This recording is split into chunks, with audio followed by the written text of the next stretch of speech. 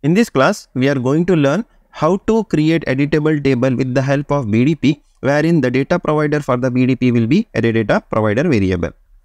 I have made use of the same application which we have used in order to learn how to create editable table with the help of BDP. Now all the things like adding the item to the BDP variable, modifying or updating the any item in the BDP variable or deleting any item from the BDP variable will work as is as if you have made use of SDP variable. Now in this case, I have made use of ADP as a data provider for the BDP. I will be able to delete. So you will see the operation whatever I have performed over here in the buffer changes. I deleted 66 record or the ID. Then I will modify this 26th ID record or the item.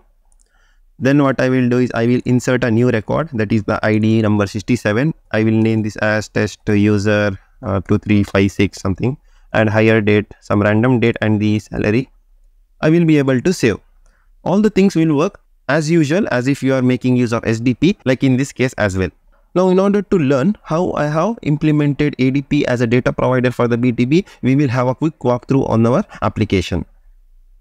First and the foremost thing in the application, you have to create a variable of type ADP. If you see over here, the type is array data provider and the type we are using is a get person type, which we had created in our earlier classes like wherein we had worked on SDP variable for the BDP as a data provider. Now coming to the BDP, here the big change is in the data provider. This is the main thing which you have to look for.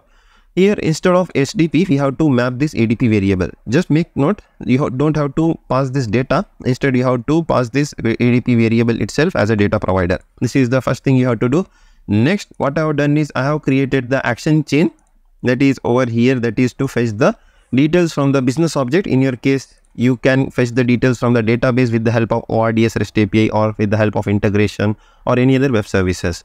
Here I'm making use of a REST call to the business object and pulling all the details that is the person details from my business object and I'm mapping the details whatever I have fetched with the help of REST API to the adp.data.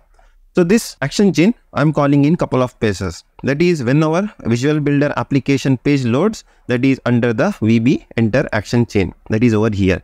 At the first step, we are calling our action chain, which is the refresh persons ADP, which will fetch the data from the business object with the help of API and it will update the ADP variable.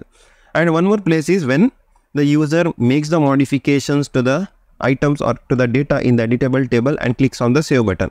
So here I have made the changes like when the user clicks on save after it does all the operations like it will update the items it will remove the item and it will insert the new items in the backend. In our case is the business object. Instead of refreshing the sdp that step i have deleted and i'm calling our action chain which will fetch the details from the business object freshly with the help of this action chain. That is refresh persons adp and it will populate the adp variable with the fresh data from the business object so these are the steps which we need to follow in order to make the data provider for a BDP variable with array data provider variable.